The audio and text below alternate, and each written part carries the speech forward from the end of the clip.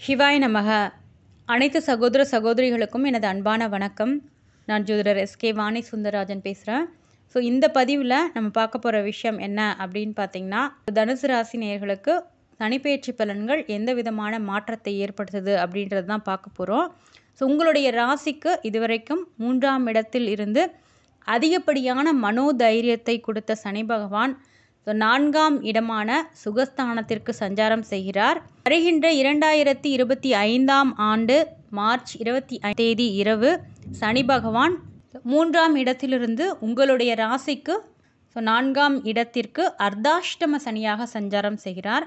So இந்த நான்காம் இடத்திலிருந்து உங்களுடைய ராசிக்கு ஆறாம் பாவமான ருணரோக சத்ருஸ்தானம் பத்தாம் இடமான தொழில் கர்மஸ்தானம் மற்றும் உங்களுடைய ராசியையே பார்வையிடுகிறார்.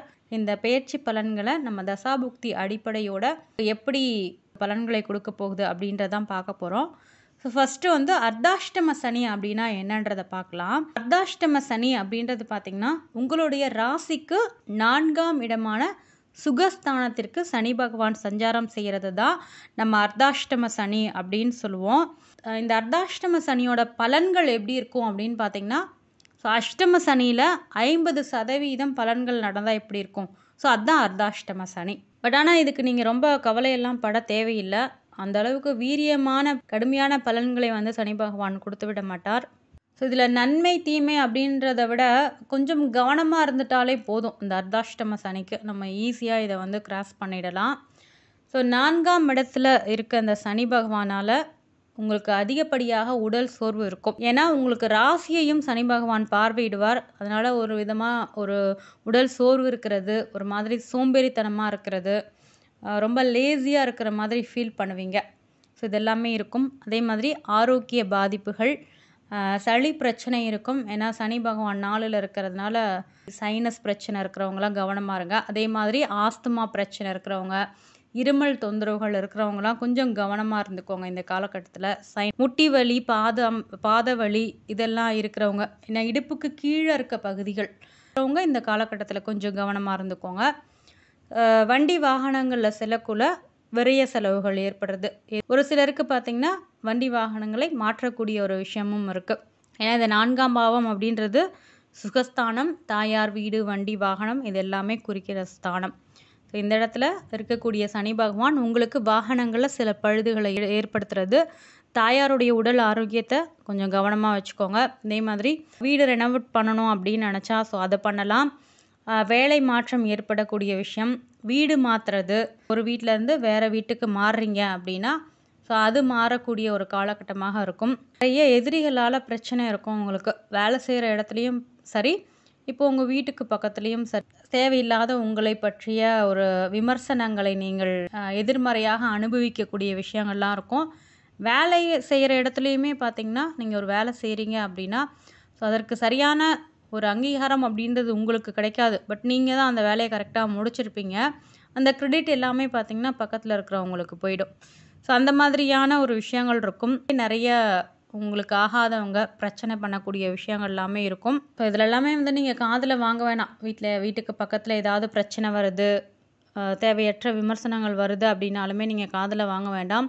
வேலையிலையும் சில ப்ராப்ளம்ஸ் அப்படின்றது இருந்துக்கிட்டு தான் இருக்கும். இந்த காலகட்டத்தில் இதை அப்படியே நீங்கள் கடந்து போனீங்கன்னா போதும். ஸோ அதுக்காக இந்த ப்ராப்ளம்லாம் இருக்குது அப்படின்றதுக்காக நீங்கள் வேறு கம்பெனி மாறுறீங்க அப்படின்னா அங்கேயும் இதே ப்ராப்ளம்ஸ் தான் இருக்கும். அதனால் இருக்க இடத்துலையே இதெல்லாமே ஃபேஸ் பண்ணிக்கிட்டு அதை எல்லாமே கரெக்ட் பண்ணிவிட்டு அப்படியே மூவ் ஆகி போகிறது அப்படின்றது தான் புத்திசாலித்தனம். அதனால் அதை அப்படியே ஃபாலோ பண்ணிக்கோங்க.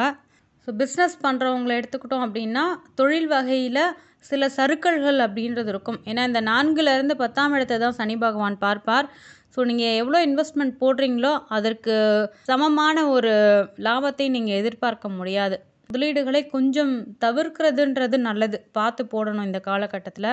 ஸோ நெருங்கிய உறவுகள் கிட்ட பகைமை பாராட்டக்கூடிய விஷயம் நெருங்கிய உறவுகளால் சில மனக்கசப்புகள் உண்டாகக்கூடிய விஷயங்கள் எல்லாமே இருக்கும். உறவினர்களோட விரோதம் நண்பர்களோட விரோதம் பாராட்டுறது ஸோ அதில் எல்லாமே கொஞ்சம் கவனமாக இருந்துக்கோங்க தனுசு ராசி நேர்கள் ஸோ அப்புறம் இன்னொரு விஷயம் பார்த்தீங்க அப்படின்னா நிறைய பேருக்கு இந்த நெகட்டிவான பலன்கள் அப்படின்றது வந்து இருக்காது. ஒரு சிலருக்கு மட்டும் நெகட்டிவான பலன்கள் அப்படின்றது அதிகமாக இருக்கும். அது எந்த வகையில் அப்படின்றத பார்த்தீங்கன்னா ஸோ எல்லாமே வந்து உங்களுடைய பிறப்பு ஜாதகத்தை அடிப்படையாக வைத்து அதாவது பிறப்பு ஜாதகத்தில் உங்களுக்கு நடக்கக்கூடிய தஸ் தசாபுக்தி உங்களுடைய கர்ம பலனை அடிப்படையாக வைத்து தான் கோச்சார கிரகங்கள் நடத்தக்கூடிய பலன்கள் பாசிட்டிவாக இருக்கிறதும் நெகட்டிவாக இருக்கிறதும் உங்களுடைய பிறப்பு ஜாதகத்தில் நடக்கக்கூடிய அந்த தசாபுக்திகளின் அடிப்படையில் தான். ஸோ அப்போது உங்களுடைய தசா என்னன்றதை நீங்கள் பார்த்துக்கோங்க. புக்தி என்ன நடக்குது அப்படின்றதையும் நீங்கள் செக் பண்ணிக்கணும். தனுசு ராசியில் நீங்கள் பிறந்திருக்கீங்க அப்படின்னா மூலம் நட்சத்திரத்தின் நான்கு பாதங்கள் பூராடம் நட்சத்திரத்தின் நான்கு பாதங்கள் உத்திராடம் நட்சத்திரத்தின் முதல் பாதங்களில் பிறந்தவர்களாக இருப்பீர்கள். ஸோ இப்போ நீங்கள் மூலம் நட்சத்திரத்தில் பிறந்திருக்கீங்க அப்படின்னா உங்களுக்கு முதல் திசையாக கேது திசை வரும். ஸோ அடுத்தது சுக்கிரன் சூரியன் சந்திரன் செவ்வாய் ராகு குரு சனி. ஸோ இந்த மாதிரி தான் உங்களுக்கு வரிசையாக கிரகங்களுடைய திசைகள் அப்படின்றது இருக்கும். பூராளம் நட்சத்திரத்தில் நீங்கள் பிறந்திருக்கீங்க அப்படின்னா உங்களுக்கு முதல் திசையாக வரக்கூடியது சுக்கர திசை.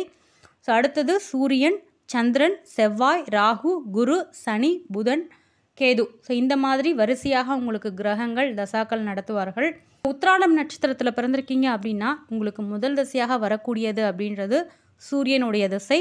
ஸோ அடுத்தது சந்திரன் செவ்வாய் ராகு குரு சனி புதன் கேது. ஸோ இந்த மாதிரி தான் கிரகங்களுடைய தசாக்கள் அப்படின்றது வந்து உங்களுக்கு லைனாக வரும். ஸோ இந்த நட்சத்திரங்களில் நீங்கள் பிறந்திருக்கீங்க அப்படின்னா மெயினாக மகா திசைகளாக வரக்கூடியது அப்படின்றது பார்த்திங்கன்னா ராகு திசை குரு திசை அப்படின்றது உங்களுக்கு மகா திசைகளாக வரும். மற்றபடி இந்த சூரிய சந்திர செவ்வாய் இவர்களுடைய திசைகள் அப்படின்றது உங்களுக்கு ஷார்ட் டைம் தான் இருக்கும். சூரிய தசாலேயே ஒரு ப்ராப்ளம் இருக்குது உங்களுக்கு அப்படின்னா ஸோ அது வந்து ஒரு ஷார்ட் பீரியட் ஒரு சிக்ஸ் இயர்ஸ் தான் அந்த பிரச்சனைகள் அப்படின்றது இருக்கும். இப்போ சந்திர திசையில் ஒரு ப்ராப்ளம் அப்படின்றது இருக்குன்னா டென் இயர்ஸ் உங்களுக்கு சந்திர திசை பத்து வருடங்கள் சந்திர திசை நடக்கும். ஸோ அந்த பத்து வருடங்கள் அந்த கிரகத்திற்கு இப்போ கொஞ்சம் கவனமாக இருக்கிறது அதெல்லாம் பார்த்துக்கணும். ஆனால் இதில் ராகு திசை குரு திசை தான் உங்களுக்கு மகா திசைகளாக வரும். ராகு அப்படின்றவர் பார்த்தீங்கன்னா இயற்கை பாவர். உங்களுடைய லக்னத்திற்கு மூன்று ஆறு பத்து பதினொன்றாம் இடங்கள்லேருந்து திசை நடத்தக்குள்ள எந்த பிரச்சனையும் கிடையாது. ஸோ இது உபஜயஸ்தானம். அப்படி இல்லை அப்படின்னா குருவோட சேர்ந்து இருக்கக்குள்ள அல்லது ராகு இருக்கின்ற வீட்டின் அதிபதி ஆட்சியோ உச்சமோ பெற்றிருக்கின்ற வேலையில் பலம் பெற்றிருக்கின்ற வேலையில் இந்த ராகு திசை அப்படின்றது மிகப்பெரிய வளர்ச்சியை தரும். அப்படி இல்லாமல் ராகு திசை உங்களுக்கு நெகட்டிவான ஒரு விஷயங்களை பண்ணணும் அப்படின்ற அமைப்பில் இருக்கக்குள்ள கொஞ்சம் கவனமாக இருங்க. ஸோ அந்த காலகட்டத்தில் நீங்கள் துர்க்கை வழிபாடு பண்ணுறது உக்கிரமான அம்பாள் வழிபாடுகளை பண்ணுறது இதெல்லாமே வந்து உங்களுக்கு சிறப்பை தரும். மேலும் பார்த்தீங்கன்னா ராகு காலத்தில் இந்த வழிபாடு பண்ணுங்கள் செவ்வாய்க்கிழமை வெள்ளிக்கிழமை ராகு காலத்தில் வழிபாடு பண்ணுறது ஞாயிற்றுக்கிழமையும் உங்களுக்கு நாலரை டு ஆறு ராகு காலம் தான் வரும்.